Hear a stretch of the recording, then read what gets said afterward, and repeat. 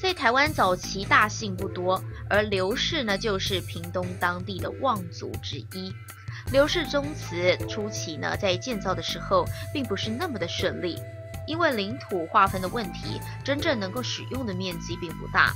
此外，现在我们看到的面貌真的是一砖一瓦慢慢加上去的哦。这座建物呢，不只是寻常人家的宗祠祭堂，对于建筑物上头的工艺技术是很难被复刻的。建筑物的主体从堂内的外观、屋檐的雕刻以及彩绘都非常的讲究，